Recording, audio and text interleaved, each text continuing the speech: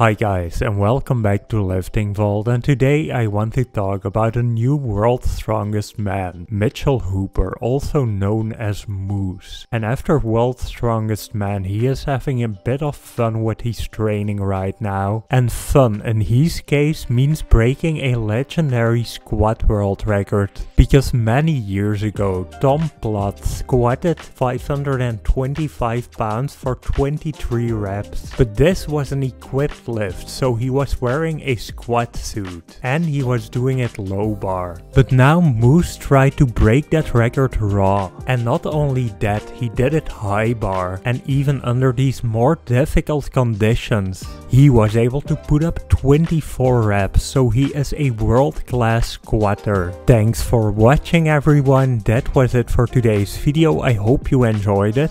And if you did, don't forget to like and subscribe and check out one of the suggested videos displayed on the screen right now.